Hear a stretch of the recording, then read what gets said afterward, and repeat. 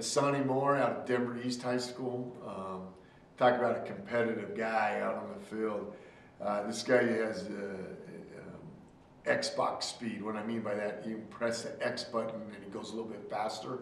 This is Hassani Moore. He can make people miss. He's competitive.